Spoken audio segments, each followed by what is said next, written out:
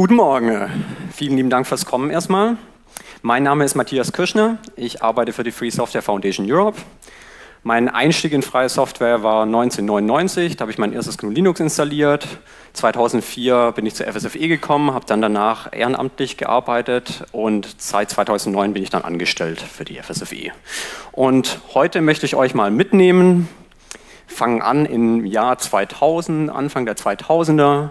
Wir haben gerade die äh, prophezeite Jahr 2000 IT-Apokalypse überlebt. Und in der Verwaltung merken auf einmal die Leute, dass der Support für Windows NT4 bald auslaufen wird. Und dass sie da updaten müssen auf eine andere Version. Und äh, die Überraschung, die kommt ja immer wieder. Jetzt vor einiger Zeit mit Windows XP. Das haben auch viele Leute erstmal nicht äh, kommen sehen. Und in München haben sich dann ein paar Leute gedacht, naja, wenn wir jetzt eh wechseln müssen, gibt es denn da auch noch was anderes, als auf die neuere Version von Microsoft Windows zu wechseln? Und dann hatten die da auch mal gehört von äh, GNU Linux und dass das so toll sein soll und hatten dann überlegt, ist das auch eine Alternative? Die fingen dann an, mehrere Untersuchungen zu machen, Studien zu machen, zu überlegen, wie könnte das aussehen, wie kann man das machen und kamen mehr und mehr zu dem Schluss, dass sie das machen wollen. Wobei auch damals schon die Meldungen so waren, ja, München überlegt, äh, Wechsel auf GNU Linux, dann kam wieder, na, die machen es doch nicht. Ähm, und dann wieder doch, die machen es.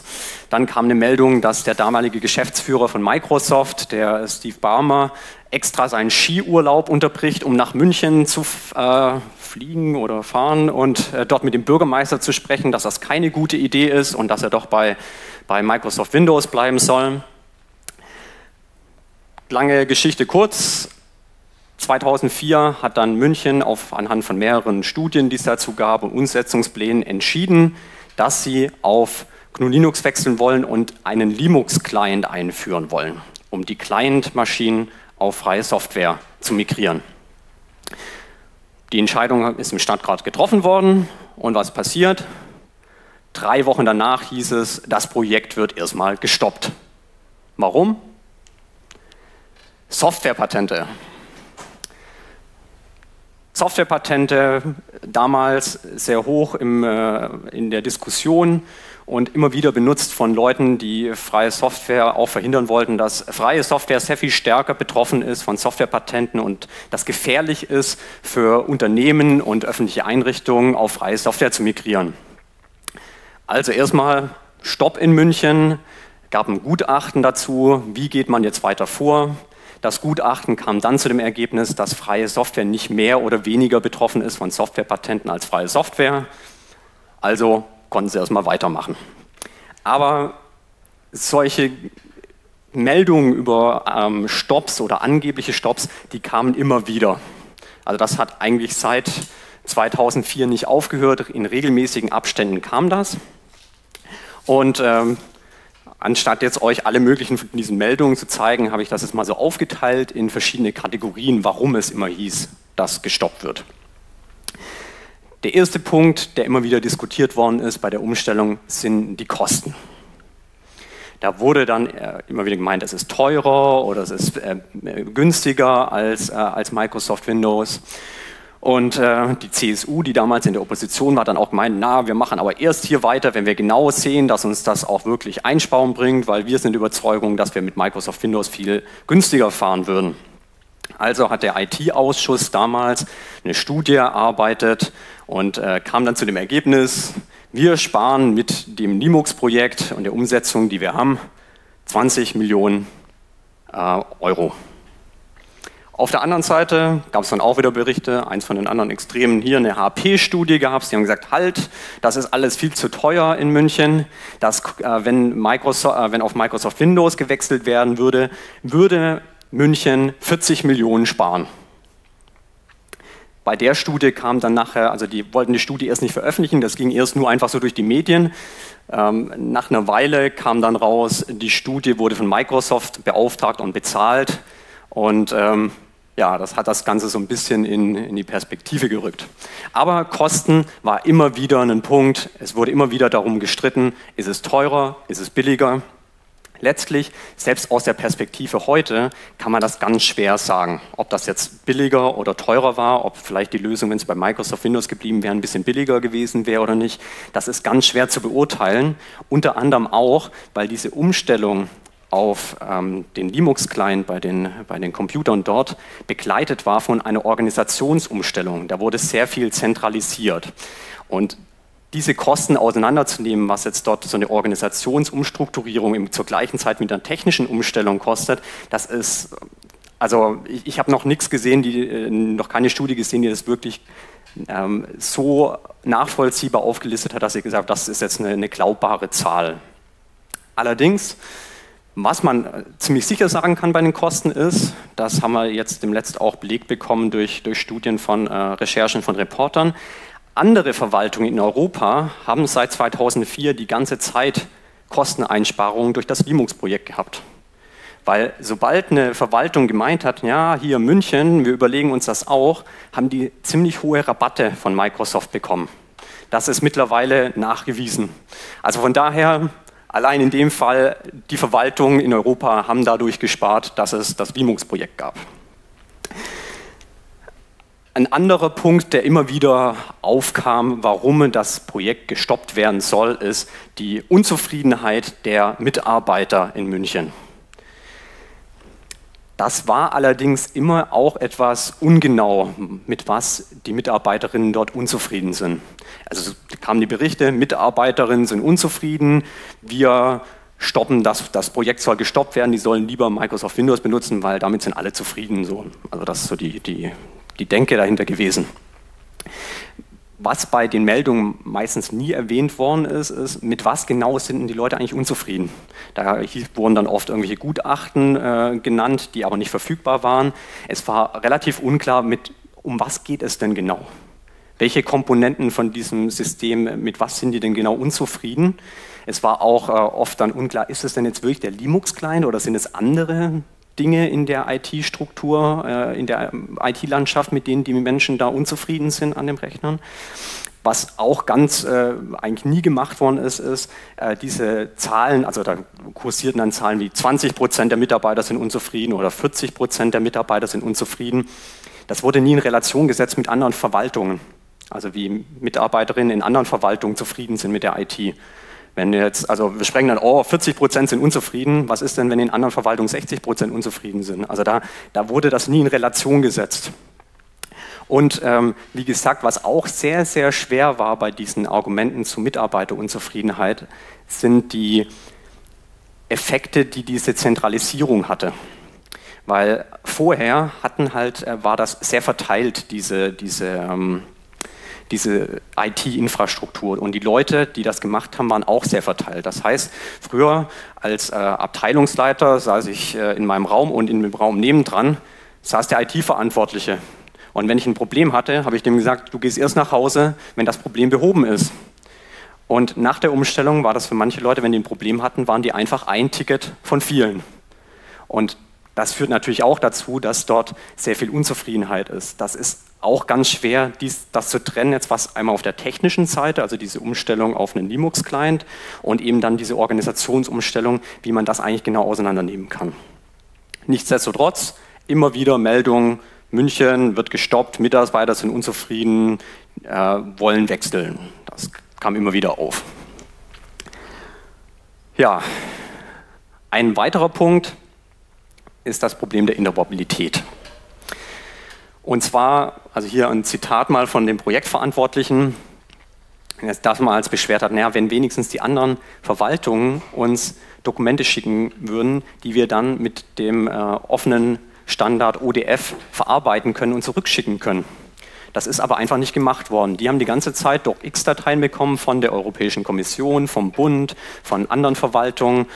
Und es gab zwar einen Beschluss auf ähm, Ebene der Bundesregierung, für alle obersten Bundesbehörden, dass die ODF-Dokumente empfangen können müssen, verarbeiten können müssen und zurückschicken können müssen.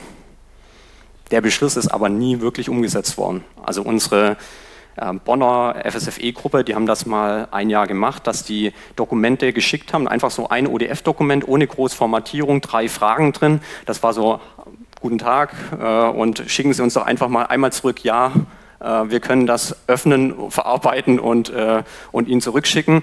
Die meisten Antworten waren irgendwelche PDFs, die zurückkommen, ja, können wir, generiert mit Microsoft äh, Office. Äh, oder Briefe, die zurückkamen, ja, können wir. Natürlich setzen wir die Bestimmungen. Es kam ein einziges Dokument zurück, das war vom Bundeskanzleramt, das war wirklich ein ODF-Dokument. Also die, die Umsetzung war, die hat nicht stattgefunden. Aber aus Perspektive von München ist es natürlich mit den Mitarbeitern dann auch ein Problem, der Punkt vorher. Weil ich kann zwar als äh, Verwaltung meinen Mitarbeitern sagen, naja, wir machen das richtig, die anderen machen das falsch, wenn aber alle anderen äh, auf, auf der Mitarbeiterebene denen immer sagen, sagen, ja, also bei uns funktioniert das, allen anderen funktioniert das ja auch, nur bei euch funktioniert das nicht. Das ist schon schwer, die Mitarbeiter dann zu motivieren, dass äh, ja, wir machen das richtig und es sind die anderen. Und das, das ist ein, ein großes Problem gewesen für, die, für München dass diese Abhängigkeit dort ist und dass andere einfach in proprietären Formaten Dokumente rumschicken und man von überall her, wenn man zu, mit, der, mit der Europäischen Kommission kommunizieren will oder mit der Bundesverwaltung kommunizieren will oder mit irgendwelchen anderen Kommunen kommunizieren will, dass alles mit proprietären Formaten stattfinden soll. Dadurch hieß es auch immer mal wieder, diese Probleme sind zu groß, wir müssen da zurück, das ist, das ist nicht mehr machbar. Und ja, dann gab es auch manchmal noch den Grund, dass man nichts gehört hat von München für einige Zeit. Und dann haben Leute schon gemeint, oh, die migrieren zurück, weil ich habe ja nichts mehr gehört, dass sie jetzt weiter freie Software machen, also hören sie auf damit. Also das war auf jeden Fall mein Eindruck damals, wenn es ein paar Monate mal nichts gab, dann sind das auf jeden Fall schlechte Nachrichten und dann gab es auch wieder irgendwelche Gerüchte, dass da irgendwas äh, passiert und, und die zurückmigrieren wollen. Nichtsdestotrotz 2013 ist das Linux-Projekt, äh, hatte den Zwischenerfolg erstmal mit 15.000 Linux-Rechner, die migriert worden sind. 15.000 Rechner sind mit dem Linux-Client dann gelaufen. Außerdem sind 18.000 Vorlagen vereinheitlicht worden und äh, umgestellt worden, damit die mit äh, OpenOffice, LibreOffice dann funktionieren. Und ein, so ein äh, Wollmux-Client ist entwickelt worden, um mit diesen Vorlagen umzugehen. Und von daher, das ist jetzt mal in dieser Zeit, neun Jahre, so viele Rechner umstellen mit diesen ganzen Umständen. Das äh, ja, ist dann auf jeden Fall mal bis dahin dann so weit umgesetzt worden ist natürlich alles sehr, sehr schwer gewesen, weil so eine Migration, gerade von so einem Desktop, das ist, äh, sind sehr, sehr viele Abhängigkeiten auf andere Komponenten. Mitarbeiter, wie wir schon gehört haben, sind unzufrieden. Wenn jetzt äh, sich dann Abteilungen beschweren und da keine Rückendeckung da ist von den Chefs äh, darüber, dass das aber eine wichtige Sache ist und dass, die, dass man da dahinter steht, das hätte man nicht hinbekommen wenn da nicht die Rückendeckung da gewesen wäre, damals von dem, von dem Bürgermeister Christian Ude, der das auch mal wieder gedeckt hat. Ja, diese Rückendeckung hat sich dann aber 2014 geändert. Gab es eine Wahl in München. Der vorherige Bürgermeister von der SPD, Christian Ude, ist nicht mehr angetreten. Und die neue Regierung war danach SPD und CSU. Und der Bürgermeister war der Herr Reiter von der SPD der hatte sich davor auch schon immer sehr kritisch geäußert über das Linux-Projekt. Hat sich in Zeitungen auch schon als Microsoft-Fan zitieren lassen und hat gemeint äh, im Wahlkampf, dass er eine, eine, wichtige Rolle darin hatte, dass er die Microsoft-Zentrale, äh, die Microsoft Deutschland-Zentrale nach München geholt hat. Und die CSU war eh schon die ganze Zeit in München dagegen, gegen das Linux-Projekt und hat immer wieder dagegen geschossen. Ab da sah es dann so aus, als ob Linux so der Sündenbock für alles ist. Egal was passiert ist, Linux ist schuld daran. Das fing an, dass der äh, Josef Schmidt, das ist der Bürgermeister von der CSU, der hat ein iPhone bekommen, wollte das dann dort einbinden in das Mailsystem. Das Mailsystem war nicht dafür vorgesehen. Wer ist schuld? Der Linux-Client. Natürlich, weil das ist ja das, was wir anders machen. Und dann ging das auch nicht nur, dass er sich einfach so geärgert hat oder mit seinen IT-Leuten darüber gesprochen hat und ihm vielleicht erklärt haben, dass ihr System da einfach nicht für vorgesehen ist. Nein, er hat das in der Presse sich darüber ausgelassen und das ist dann gleich in Zeitungen gekommen. Äh, Bürgermeister in München, unzufrieden, Wechsel zurück auf Microsoft. Das waren die Meldungen, die dann rausgingen und äh, gestreut worden sind, auch sofort auch außerhalb von Deutschland gleich aufgekommen sind. Ja, das war das erste. Ein anderes Beispiel, der ist ein Mail-Server-Ausfall äh, gewesen. Was hat der UB Reiter gemeint? Wenn wir wenigstens, äh, wenn wir Sachen anders machen, wenn wir die wenigstens gut machen würden, hier Linux, äh, das funktioniert doch alles nicht und hat sich dann darüber ausgelassen, wie schlecht die Infrastruktur dort ist, weil der Mail-Server da ausgefallen ist. Es hat sich nachher herausgestellt, das hatte überhaupt nichts mit Linux zu tun. Trotzdem Meldung, wir wechseln zurück. Äh, Oberbürgermeister von München unzufrieden mit Linux, es geht zurück. Ja, daneben wurde dann auch von der, von der, ähm, von, von der Stadt ein Gutachten beauftragt, um zu schauen, wie ist denn unsere IT aufgestellt und was sollten wir denn ändern. Die Studie, als bekannt wurde, an wen die vergeben worden ist, haben Leute erstmal gemeint, oh nein, ging an Accenture. Accenture ist ein Unternehmen, die waren acht Jahre in Folge Microsoft Goldpartner des Jahres und äh, haben zusammen mit Microsoft äh, sitzen im gleichen Haus in München oder direkt zwei Häuser neben, direkt nebeneinander, feiern zusammen äh, ihre Feste, Mitarbeiterfeste. Da wurde dann erstmal gesagt, wenn das dorthin geht, ist ja ganz klar, dass das gegen Linux geht und dass sie empfehlen werden, Schluss mit Linux.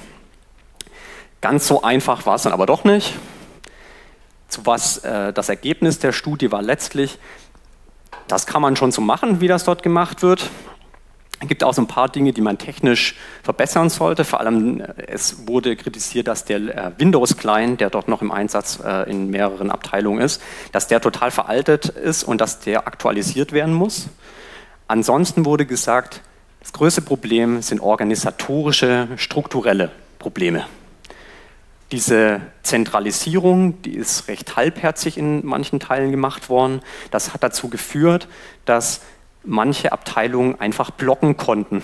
Updates zum Beispiel. Da gab es dann ähm, bei der Stadtratssitzung, die ich später noch erwähnt hatte, ein, eine Stadträtin gemeint, dass zu der Zeit in München 15, 10 bis 15 verschiedene Betriebssystemversionen im Einsatz waren. Also verschiedene Betriebssysteme und Betriebssystemversionen und außerdem jahrealte OpenOffice-Versionen, bei denen Fehler drin waren, die schon seit mehreren Jahren behoben waren, mit denen die Leute, die Mitarbeiter unzufrieden waren, weil sie immer das gleiche Problem hatten. Aber die neuen Versionen sind nicht ausgerollt worden, weil Abteilungen das blockieren konnten. Die Empfehlungen von der Studie waren dann, dass man diese Organisation, also dass man die Organisation anders strukturieren sollte. Gab es eine Empfehlung dazu, wie das gemacht werden soll. Und ansonsten zu dem Teil mit, mit Linux da wurde nichts groß beanstandet. Außer das, dass es eben ganz gut wäre, wenn neue Versionen ausgerollt werden können und dass nicht äh, Leute mit einem Ubuntu von vor äh, zehn Jahren fast arbeiten müssen. Ja, dann war es erstmal wieder ein bisschen ruhig. Und auf einmal, ein bisschen aus dem Blauen, kam, haben wir gemerkt, dass eine Ergänzung der Tagesordnung im Stadtrat gemacht worden ist. Davor war der Agendapunkt, da ging es um diese Restrukturierung, wie das gemacht werden soll. Und auf einmal wurde ein 6b neu hinzugefügt. Und da hieß es auf einmal drin, dass ein Konzept erarbeitet werden soll, um eine vollständige Migration aller Clients auf einen einheitlichen Windows-Client durchzuführen. Das sollte da beschlossen werden. Und ja, das kam für viele Leute im Stadtrat als eine Überraschung, für Leute in der freien Softwaregemeinschaft auch, dass dort auf einmal so, ach ja, wir ein paar Tage vor der Sitzung aktualisiert, hier noch äh, zwei kleine Sätze ohne irgendwelche ohne irgendwelche Dokumente, die sagen, wie viel kostet denn das, wie, wie soll man das genau machen, sondern es soll einfach nur gleich hier bis 2020 soll das dann umgesetzt werden und das soll jetzt erarbeitet werden, wie man das jetzt macht. Ja, wir haben uns dann gedacht, bevor der Stadtrat so eine Entscheidung trifft, sollten die sich schon bewusst sein, was das eigentlich bedeutet. Deswegen haben wir uns dann mit anderen Organisationen zusammengetan, hier zum Beispiel Document Foundation und, und anderen, äh, KDE e.V., Open Source Business Alliance und haben uns haben Fragen ausgearbeitet, die die Stadträte für sich beantworten sollten.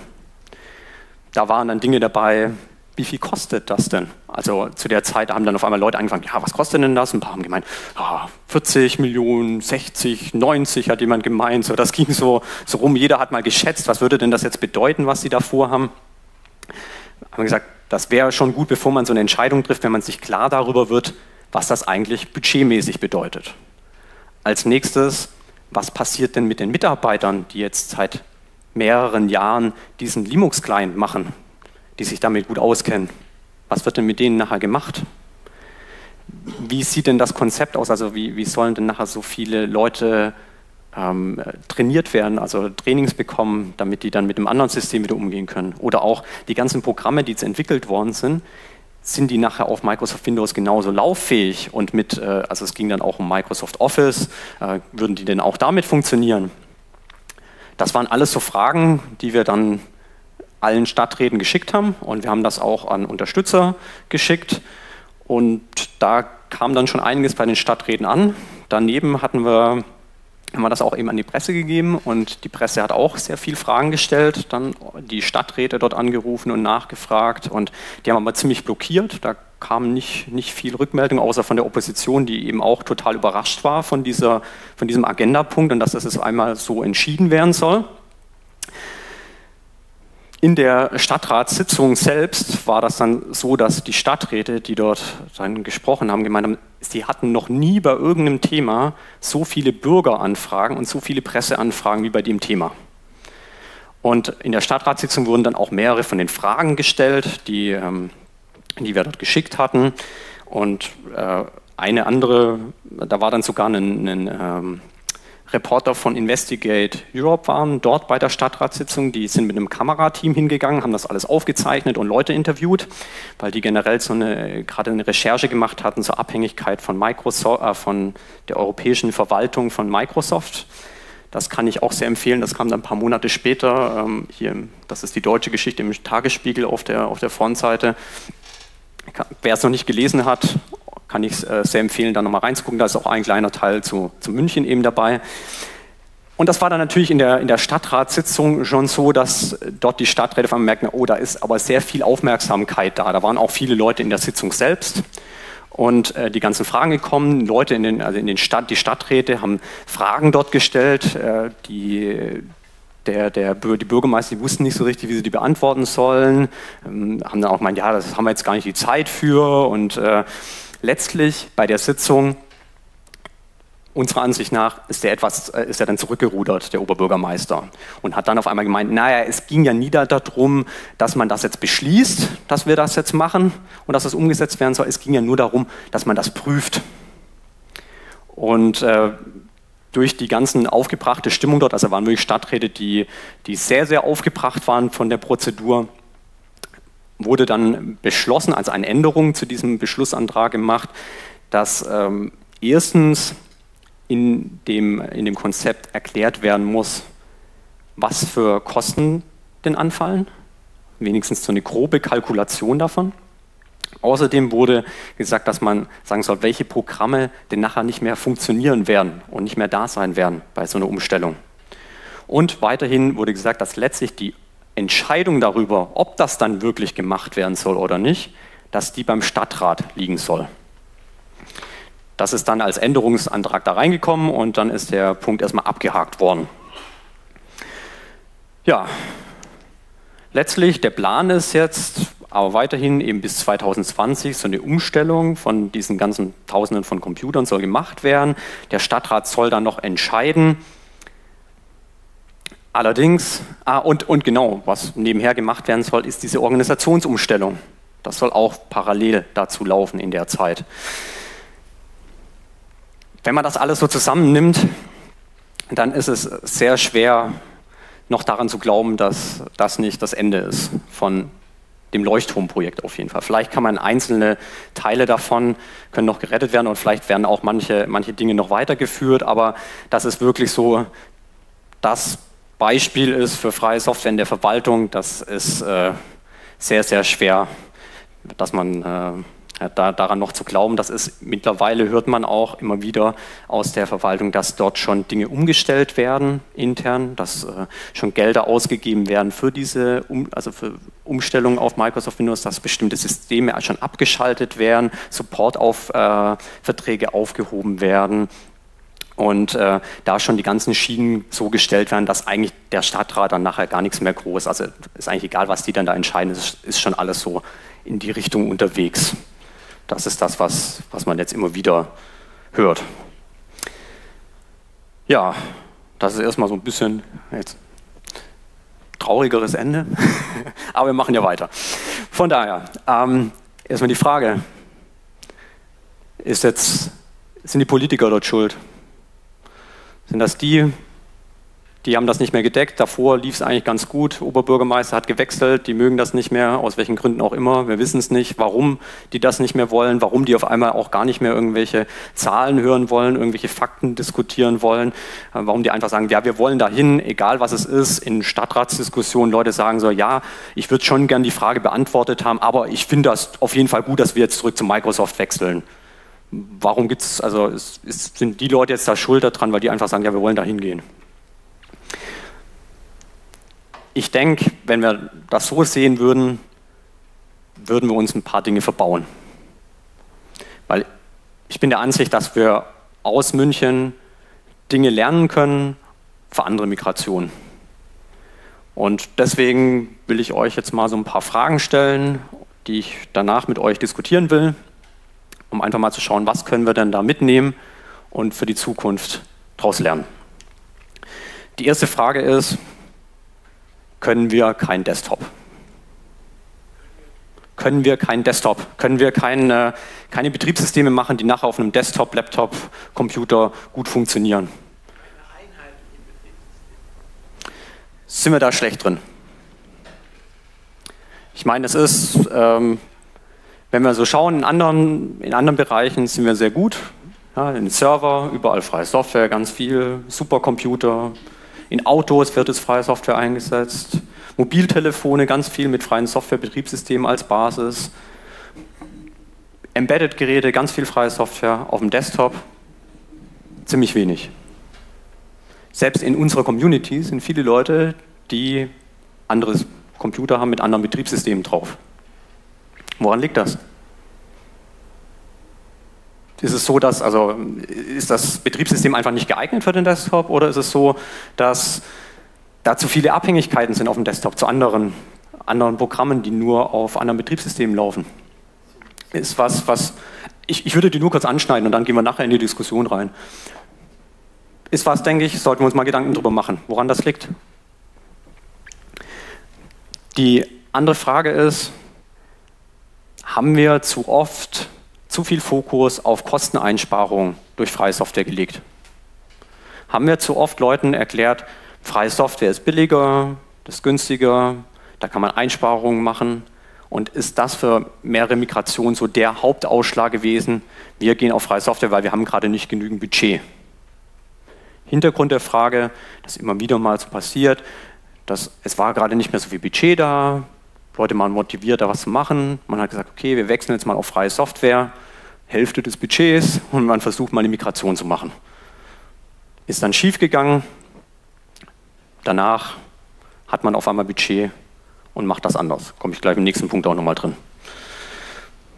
Sollten wir da vielleicht öfter sagen, na, wenn ihr Einsparungen machen wollt, dann macht keine Migration, dann bleibt genau bei dem, was ihr davor schon habt. Das ist für kurzfristige Einsparungen ist das einfach eine Migration der falsche Weg. Oder auch generell ist freie Software zu stark verbunden mit dem Kosten einsparen. Sollten wir Leute mehr dazu bewegen, generell was zu bezahlen für freie Software. Dann schaden wir uns manchmal dadurch, dass wir zu sehr so sehr gerne die Umstellung haben wollen auf freie Software in zur Verwaltung, dass einmal Mitarbeiter dort, aber auch von externen Leuten sagen sie, komm, das kriegen wir schon irgendwie hin, wir helfen da mit, wir legt jeder mal noch so ein bisschen ehrenamtliche Zeit mit rein und dann kriegen wir das schon hin, wenn kein Budget da ist. Und das sieht man auch immer wieder, dass es eben Mitarbeiter so gibt, die, die das so gerne wollen und äh, es ist kein Budget da, die legen los mit der, mit der Migration und nach einer Weile sind sie dann etwas überfordert auch damit, was das dann wirklich bedeutet. Weil es eben was anderes, wenn man jetzt äh, von der Familie die Rechner umstellt, wie wenn man für so eine große Organisation äh, Rechner umstellt. Da ist die Frage, sollten wir da manchmal vielleicht sagen, so, nee, da investieren wir lieber doch nicht so viel Energie rein, warten wir mal ab und müssen jetzt nicht gleich so einen Desktop äh, umstellen und das alles machen, wenn wir nicht das wirklich auch langfristig mitmachen können. Ist das vielleicht teilweise hinderlich gewesen? Auch sieht man immer wieder in Schulen. Das sind Lehrer, die wollen das umstellen und nach einer Weile haben sie dann Burnout, weil es einfach zu, eine zu große Aufgabe ist. Ja, dann der nächste Anreißer für die Diskussion nachher. Haben wir einen zu großen Fokus auf den Desktop gelegt, auf das Betriebssystem selbst. Zu viel Fokus auf das, was da drunter läuft, wir alle finden das Betriebssystem so toll, wir haben das auf unseren Laptops, sind total zufrieden damit, wollen, dass andere Leute auch davon profitieren und versuchen dann die Verwaltung davon über, zu überzeugen, ihr Desktop-Betriebssystem zu ändern. Und das ist auch immer wieder in politischen Forderungen, so, ja, ändert doch, wechselt doch hier von Microsoft Windows auf GNU Linux. Das ist so eine von den Forderungen. Ist das vielleicht falsch? Ist das nur, weil wir das Betriebssystem wichtig finden? Ist das auch für die Verwaltung das wichtigste der wichtigste erste Schritt, dass die ihr Betriebssystem ändern? Oder gibt es nicht andere wichtige Komponenten, zum Beispiel Applikationen Lösungen generell in der Verwaltung, die man erstmal umstellen kann, ohne dass man so viele Abhängigkeiten und, und äh, größere Baustellen hat, wie wenn man eben ein, ein Betriebssystem direkt ändert? Beim, auch verbunden mit dem Betriebssystem die Frage, ist bei manchen Migrationen zu viel Energie darauf verbraucht worden, eine eigene Distribution zu erstellen für die eine Verwaltung. Hätte man dann nicht vielleicht sich den Teil der Arbeit sparen können, indem man eine Distribution nimmt, die es schon gibt, bei dem man auch externen Support ein, einholen, reinholen kann und sich dann um die verwaltungsspezifischen Probleme letztlich kümmern kann mit, dem, mit der Energie, mit den Ressourcen, die zur Verfügung stehen. Und letztlich noch haben wir in der Vergangenheit uns zu sehr auf ein paar Stars konzentriert, auf einige von diesen Leuchtturmprojekten. Hintergrund der Frage ist, manchmal hatte ich schon den Eindruck, wenn jemand gefragt hat, funktioniert freie Software in der Verwaltung, dann war die Standardantwort ja, München. Ist das so gut, wenn wir immer die gleichen Beispiele nennen, eine kleine Handvoll von Beispielen? Brauchen wir das überhaupt noch, dass wir so zeigen können, hier, da gibt es einen großen, die, die machen das so komplett, wenn heute Unternehmen auch freie Software überall einsetzen? Ist das noch also brauchen wir das? Oder ist es nicht viel besser, wenn wir mittlerweile bei so vielen Beispielen, die heutzutage existieren, jeder sich so welche aussucht und wenn jemand fragt, äh, wie ist denn das mit freier Software, erklärt halt jeder, bringt jeder ein anderes Beispiel. Also München kennt jeder. Wer, wer kennt denn Fix My Street? Kennt das jemand hier? Fix My Street? Eins, zwei, drei Hände sehe ich. Fix My Street 4. Fix My Street ist eine Software, die ist entwickelt worden in Großbritannien ursprünglich, um wenn, äh, wenn irgendwelche Schäden an Straßen sind oder andere Probleme, kann man das der Verwaltung, also der, der Stadtverwaltung melden, damit die das reparieren können. Ist in Großbritannien entwickelt worden, mittlerweile in acht Ländern eingesetzt. In Berlin ist jetzt auch sowas entwickelt worden, neu, hat dann nachher eine Million Euro gekostet es ist ein kleines Beispiel, was fast, fast niemand kennt, ist freie Software und von solchen Beispielen gibt es viele. Da kann man mal auf, auf die Plattform Join abgehen, ganz viele Beispiele, wie freie Software in der öffentlichen Verwaltung verwendet wird. Sollten wir uns da mehr unterschiedliche Join up, das ist von der Europäischen äh, Kommission. Da gibt es immer wieder Meldungen, wo freie Software eingesetzt wird, jede Woche ein paar. Ja, ist das, sollten wir aufhören, so diese einen Punkte, die alle, alle immer wieder wiederholen, sollten wir uns mehrere Beispiele aussuchen. Die Diskussion würde ich, äh, diese Fragen würde ich nachher gerne in die Diskussion nehmen, würde gerne eure Rückmeldung haben. Und davor noch kurze, kurzes Update, was jetzt die FSFE im Bereich öffentliche Verwaltung in den nächsten Jahren gerne machen würde. Und zwar, wir arbeiten gerade an einer Kampagne, die heißt Public Money, Public Code. Wir sind der Ansicht, dass wenn öffentliche Gelder verwendet werden, um Software zu entwickeln, dass diese Software dann nachher unter einer freien Lizenz veröffentlicht werden soll, damit alle davon profitieren können. Wir wollen ermöglichen, dass Verwaltung Software, die von anderen Verwaltungen schon entwickelt worden ist, weiterverwenden können dass sie die wieder mit anderen teilen, nicht groß darüber nachdenken, wer könnte denn das auch gebrauchen können, sondern einfach veröffentlichen, damit, wenn das andere das gleiche Problem mal haben, dort Teile wiederverwenden können. Weil wir der Ansicht sind, dass wenn dieses Teilen und Wiederverwenden in der öffentlichen Verwaltung mehr genutzt wird, dass wir sehr viel bessere Software für das gleiche Budget bekommen werden, äh, die uns letztlich allen als Bürgern äh, nachher von hilfreich sein wird und wir davon profitieren werden. Bei den ganzen Themen geht es überhaupt nicht um die Betriebssysteme. Das ist total egal, ob das eine Software ist, die neu entwickelt wird für Microsoft Windows, für Android, äh, iOS oder für was auch immer. Standardmäßig, wenn eine Neuentwicklung stattfindet, würden wir, wollen wir, dass das als freie Software veröffentlicht wird. Das sehen zum Glück nicht nur wir so. Da war Ende letzten Jahres war ich bei der Sharing and Reuse Konferenz der Europäischen Kommission und dort hat die Zuständige für IT in der Europäischen Kommission gesagt, Sharing and uh, Reuse should become the default approach. Soll der Standardweg werden, dieses Teilen und Wiederverwenden in der öffentlichen Verwaltung. Da wurden damals Preise ausgelobt für mehrere solche freie Softwarelösungen, die schon von anderen Verwaltungen weiterverwendet werden. Ja, solche Zitate sammeln wir gerade für die Kampagne. Ansonsten auf der URL unten findet ihr eine Zusammenfassung, was wir da gerade machen. Wir sind gerade vor allem an dem Stand, dass wir ganz viele Daten sammeln. Was für Software wird von der öffentlichen Verwaltung bezahlt, neu entwickelt? Unter welchen Lizenzen stehen die? Was gibt es denn schon? Welche Verwaltungen veröffentlichen schon freie Software? Wie, sind da die, wie ist da der prozentuale Anteil? Wir haben dort Anleitungen für Freiheitsinformationsanfragen draufgestellt, Beispiele, wie man das machen kann. Wir haben auch schon mehrere Antworten dort verlinkt.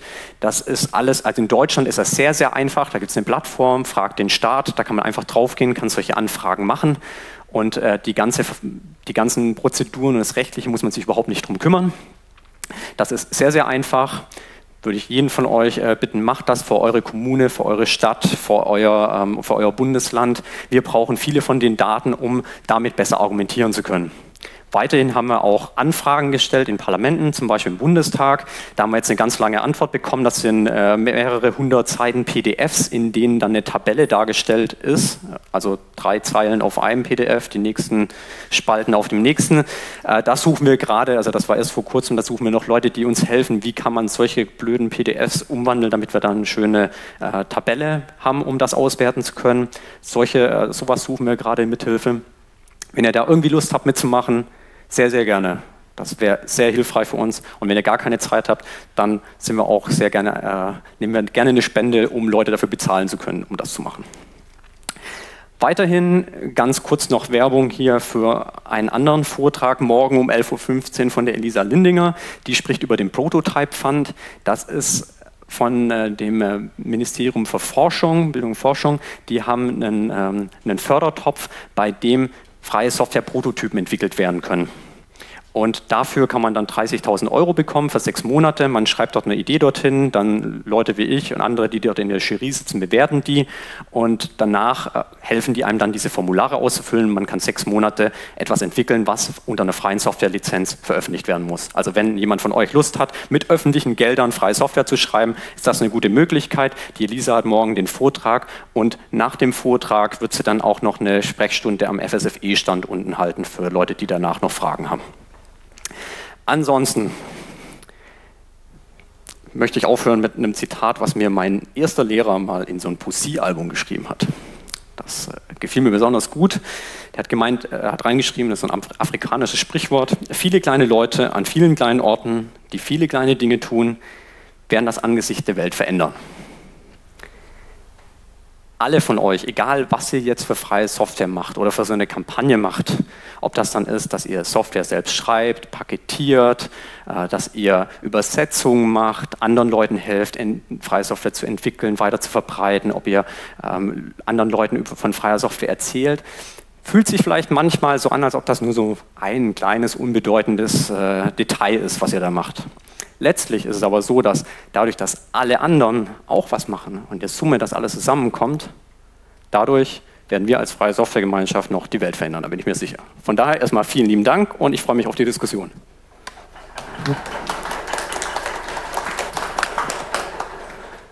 Ja, wir haben Fragen. Ähm, du machst das. Sehr gut. Vielen lieben Dank. Okay, danke. Hört man mich? Ja, gut, okay. Also zum Thema Desktop, mhm. weil das ist so auch aus meiner eigenen Erfahrung äh, ja der Hauptknackpunkt, wenn ich Leute von Linux überzeugen möchte, im privaten Umfeld, im, mhm. im Arbeitsumfeld. Äh, mir ist aufgefallen, eigentlich hat Linux den erfolgreichsten Desktop, wenn ich statt Desktop UI sage. Das sind nämlich die drei Milliarden Android-Telefone, die es gibt. Und die Frage ist, warum sind die erfolgreich und warum klappt das auf dem klassischen Desktop nicht? Und ich denke, das hat primär damit zu tun, äh, es gibt nicht sowas wie auf dem Desktop, nicht sowas wie eine User Interface Guideline von Apple. Also wirklich, wie mache ich äh, eine App, dass sie auf dem Desktop gut bedienbar ist? Das gibt es für Android, das gibt es für Apple, das gibt es für Windows, das gibt es für Linux gar nicht. Beziehungsweise fünf Stück von A bis Z, die bei G aufhören. Ja? Äh, das nächste Thema, es gibt keinen Standard-SDK für Desktop-Apps. Also den Standard gibt es nicht. Der eine macht ein Perl-Skript, platscht da irgendwie äh, ein GTK-Toolkit drauf oder sonst irgendwas. Und es gibt nicht diese eine, dieses eine Standard-SDK. Da gibt es von Microsoft Visual äh, Studio, da gibt es von Apple die äh, Developer-Tools, da gibt es auch von Android eine Standard-SDK. Und darum sehen die auch alle sehr ähnlich aus und können sich sehr ähnlich bedienen. Aber diese Arbeit, die muss auf Linux erst gemacht werden. Was ich, hab, was ich oft sehe, irgendeinem Programmierer gefällt irgendeine Einzelheit bei irgendeinem Desktop nicht und anstatt die Arbeit sich zu machen, diesen Prozess so zu verändern, dass es auf dieser Distribution läuft, macht er gleich seine eigene. Und äh, dann bin ich dann schlussendlich bei der Frage, kann ich ein Pferd ersetzen durch 100 Mäuse? Das geht nämlich nicht. Also ich muss wirklich sagen, ich muss mich mal konzentrieren auf einen Desktop, auf eine User-Philosophie, so wie das bei Android ist. Ich kann von einem Samsung-Telefon auf ein Huawei gehen oder auf irgendein anderes und meine Mutter kriegt den Switch hin. Aber hm. gehe ich von Elementary auf äh, X-Windows oder auf i3, ist der Ofen aus. Das funktioniert einfach nicht. Also man müsste sich da wirklich mal einen Kopf machen zu sagen, ich brauche sowas wie eine User Interface Guideline für Desktop-Apps unter Linux und ich muss ein Software Development Kit machen, was einheitlich oder großteils verwendet wird, um wirklich Desktop-Apps zu entwickeln. Wie es darunter aussieht, sei dahingestellt, aber um so ein wirklich einheitliches Gefühl bei dem Benutzer zu erzeugen und nicht immer, dass der im Kopf eine 180-Grad-Wendung machen bloß, bloß weil er jetzt äh, die Distro ändert oder so. Okay, Dankeschön. Ähm, ich werde jetzt gar nicht auf alles direkt eingehen, aber ich möchte noch mal zwei Punkte dazu sagen. Das eine ist, in der Verwaltung, wenn man sich anguckt, wie dort die Desktops aussehen, wenn die nicht freie Software sind, dann, äh, ja, ich glaube, da kann man sich schon auch überlegen, ob es so eine einheitliche Nutzerführung dort der ausschlaggebende Punkt ist. Da muss man sich mal angucken. Also das, das ist vielleicht da gar nicht so das Entscheidende. Und vielleicht ist das eben, dass dieser Desktop drunter, da kann man vielleicht, selbst wenn man mit dem Desktop noch viel besser ist als, ähm, als äh, Microsoft Windows, ist das entweder nicht der ausschlaggebende Punkt, weil einfach alte, alte Anwendungen nicht drauf laufen. So, das ist so mein Gefühl, dass das vielleicht eher in der Verwaltung so ein Punkt ist. Aber ähm, ein anderer Punkt bei freier Software geht so ein bisschen zurück mit diesem kostenlos. Wir haben viele Leute bei freier Software, die gut programmieren können. Wir haben aber wenig Leute, die sich mit UI und Design im Generellen auseinandersetzen können. Wenn wir aber immer nur freie Software uns nehmen und sagen, ja, freie Software ist ja, ne, dann holen wir uns kostenlos und äh, benutzen das. Wie wollen wir das hinbekommen, dass wir Leute dafür bezahlen können, dass die sowas machen können? Wir werden die nicht einfach so kriegen, weil ja, ich benutze, verändere so ein bisschen das Design, damit ich dann auch eine bessere Anwendung habe. Das funktioniert ja nicht so gut wie bei vielen anderen Bereichen, in denen freie Software gute Programme gemacht hat, im Systemadministrationsbereich oder so. Und deswegen Frage, ist es vielleicht wichtig, dass wir mehr Geld an freie Software geben, damit solche Dinge gemacht werden können, also dass wirklich Produkte gebaut werden können und nicht nur Software geschrieben wird. Manche haben das gemacht. Also ich meine für den, für den Desktop, es gab, ja, ähm, es gab ja Distributionen, die versucht haben, einen Desktop für Privatleute zum Beispiel zu machen. Mantriva hat das lange versucht. Wie viele Leute waren im Mantriva Club und haben das finanziell unterstützt? Ubuntu hat das auch versucht, so äh, User Interface Sachen zu verbessern, haben dadurch haben sehr, sehr viel Schelte auch eingesteckt von, von Leuten. Kann man sich streiten, was jetzt gut und was schlecht war, aber es ist schon so, dass, dass manchmal so eine Argwohn in unserer Gemeinschaft ist, wenn Leute dann wirklich Geld nach Geld fragen, um Dinge verbessern zu können, da kann irgendwas nicht stimmen. Du hattest auch gemeint, Elementary OS. Auf der Download-Seite kann man dann sagen, wie viel man dafür bezahlt. Ich höre immer wieder von Leuten, ist das dann überhaupt freie Software, wenn man hier äh, 20 Euro bezahlen muss? Ich denke, das ist schon so ein Punkt, an dem wir überlegen können, ob wir da nicht, wenn man öfter Geld gibt und Leute unterstützt, dass die dann solche Änderungen dafür bezahlen können, dass ihre Software besser wird, dass, wir, dass das langfristig auch den Desktop erhöht. Aber ansonsten äh, auf jeden Fall ein Punkt, über den man sehr viel länger diskutieren kann und sollte. Ähm, zum Bereich Einsatz in der öffentlichen Hand. Das ist ein reichlich komplexes Thema, mhm. nur zwei Punkte dazu. Ähm, zum einen mal äh, hat man halt da oft das Problem, dass es eben nicht nur mit den Standard-Desktop-Anwendungen getan ist, sondern es gibt einfach eine Unmenge an Fachverfahren, die eben üblicherweise als Windows-Applikation implementiert sind. Und je nachdem, in welchem Bereich man ist, ist es so, dass es für einzelne Fachanwendungen die faktisch nur einen Monopolanbieter gibt. Ja. Der liefert die Applikation ausschließlich für Windows. Das heißt, vollkommen egal, auf was ich den Desktop-Arbeitsplatz umstelle. Ich bin letztendlich gezwungen, und wenn es nur wegen einer einzigen Anwendung ist, im Zweifelsfall trotzdem Windows-Systeme als Terminal Services oder ähnliches weiter zu betreiben. Damit muss ich aber zwei Welten parallel pflegen. Und das erzeugt natürlich zusätzlichen Aufwand. Und dann stellt sich natürlich die Frage, warum bleibe ich dann auf dem Desktop nicht auch gleich bei Windows? Dann habe ich das zumindest alles in einer Betriebssystemwelt. Zum Thema Softwareentwicklung in der öffentlichen Hand unter freien Lizenzen, auch schwierig. Es hat Versuche gegeben, wo öffentliche Verwaltungen versucht haben, Leistungen unter freien Lizenzen auszuschreiben, sind dabei aber am deutschen Vergaberecht gescheitert.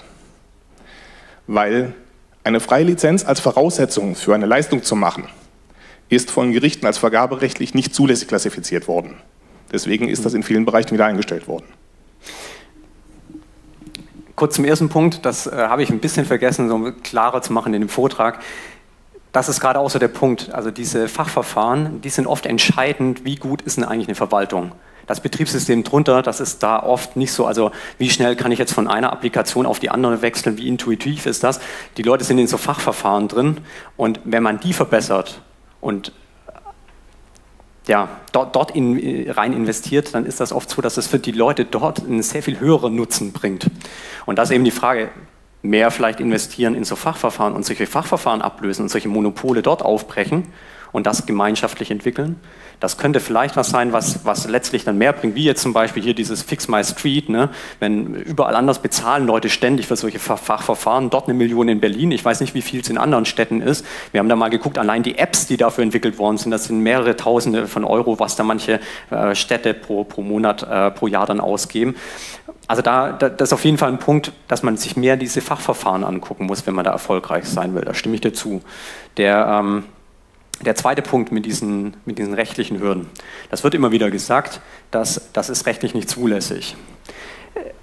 Ich, ich, bin da immer, also ich bin da immer noch nicht überzeugt von, warum das nicht zulässig sein soll, dass eine Verwaltung sagen darf, welche rechtlichen Bedingungen erfüllt sein müssen, um an der Vergabe teilzunehmen. Das geht in allen anderen Bereichen eigentlich auch in der Vergabe. Und warum sollten die sagen, wir wollen dass wir das Programm auf jeden Fall für jeden Zweck verwenden können und keinerlei Einschränkungen zur Benutzung stattfinden. Wir wollen die Möglichkeit haben, dass wir die Funktionsweise untersuchen können. Dafür brauchen wir den Quellcode. Wir wollen die Software innerhalb von der Verwaltung mit anderen teilen können. Das ist eine Grundbedingung, weil wir mit anderen kommunizieren. Das muss machbar sein. Und wenn es Änderungen geben soll, wollen wir die selbst machen können oder auch externe Dienstleister beauftragen können. Und wenn man das anguckt, wenn man jetzt anschaut, wie zum Beispiel andere Dinge beschafft werden, dass man sich so stark an einen Anbieter bindet durch seinen Kaufvertrag bei, bei so einer Softwarebeschaffung, das ist, das ist was, das ist wirklich sehr IT-spezifisch.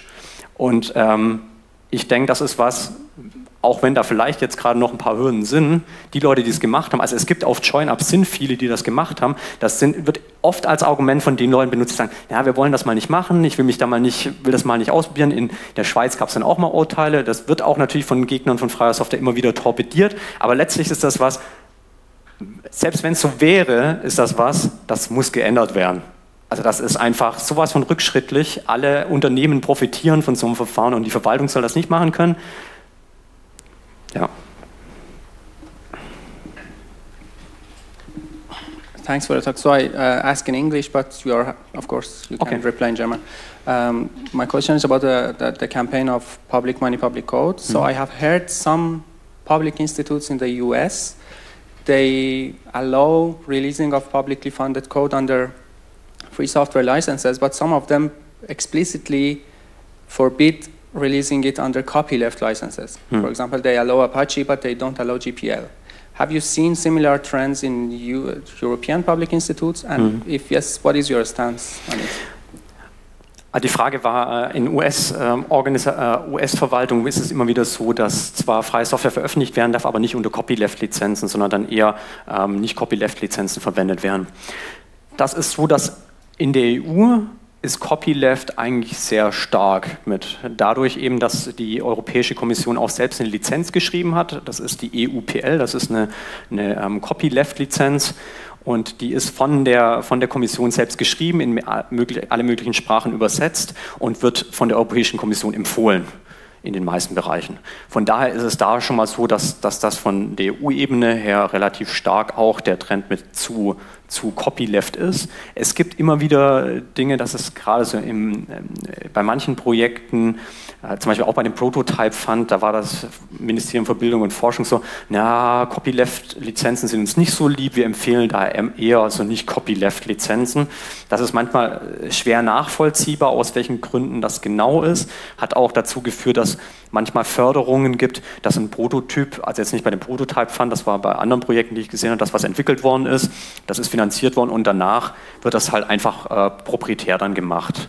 Und äh, das ist was, das passiert da dann immer wieder mal. Aber es, es ist so ein bisschen, es, es gibt, gibt, natürlich immer wieder Leute, die Copyleft nicht gut finden oder halt dann nicht Copyleft wollen. Da gibt es immer unterschiedliche äh, ja, Präferenzen von Leuten. Aber dass da jetzt so ein direkter Trend ist, das sieht man nicht so. Und auch jetzt, äh, selbst in der USA ist es so, dass ähm, bei dem, also die, die, ähm, das Weiße Haus, die haben so eine Empfehlung, äh, Source Code Policy, die sagen, dass alle Software, die mit öffentlichen Geldern äh, hier in der, Oberst, in der Federal Government entwickelt wird, da sollen 20 Prozent müssen die unter freien Softwarelizenzen veröffentlichen. Und da ist es so, dass die auch eher so ein bisschen in die Richtung gehen, aber wenn man auf code.gov geht, wo die alle äh, aufgelistet sind, da gibt es auch welche mit Copyleft-Lizenzen. Das ist. Ja, mein Name ist äh, Uwe Döberreiner. Ich ähm, frage, müsste man nicht in der öffentlichen Verwaltung, wenn man Spezialprogramme macht, ähm, mehr bezahlen, damit zum Beispiel der Ersteller gezwungen wird, äh, reasonable freie Lizenzen, also ähm, nein, wie bei Standards.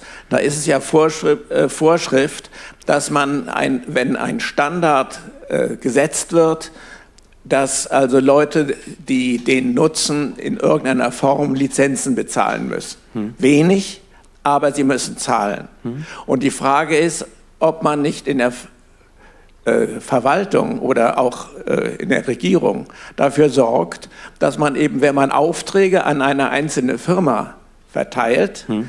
dieses Programm äh, zwangslizenzierbar sein muss. Hm. Zu, also zu vernünftigen Kosten. Also es geht ein bisschen in die Forderungen, die wir haben. Also wenn, ja, wir sind der Ansicht, dass das gemacht werden sollte, dass wenn mit öffentlichen Geldern eine Software neu entwickelt wird, dass die dann unter einer freien Softwarelizenz direkt veröffentlicht werden soll. Dieses, hm? Ja, genau, das ist eine freie Softwarelizenz, die sagt dann, dass man die verwenden, verstehen, verbreiten und verbessern muss. Für das Verwenden braucht man auch den Quellcode. Es ist so, dass, ähm, Sie hatten das ja noch kurz erwähnt mit diesem teurer das ist natürlich so, dass es, es gibt manche Software, die wird entwickelt und dann äh, ist, ist das Modell nicht, ich entwickle einmal die Software für die Verwaltung, sondern ich muss das nachher ganz, ganz oft verkaufen, damit sich das rentiert. Und da ist eben eine andere Kalkulation dahinter. Das heißt, das kann schon dazu führen, dass wenn man eben jetzt eine Software neu entwickelt, dass sie da teurer ist, wenn, wenn das eine Bedingung ist, dass es eine freie Lizenz ist, was dann danach eben wieder dazu führt, dass andere das einfach wiederverwertet verwenden können. Aber das ist, das ist ein bisschen schwierig natürlich. Ja. Äh, also das, das wäre eigentlich damit drin, dass es diese bei freien Softwarelizenzen bekommt man die und jeder kann das dann verwenden. Dass der Hersteller die Lizenz bekommt? Ah, okay. Aber das ist bei, bei freier Software. Ach, Lizenzzahlungen. Okay. Ja.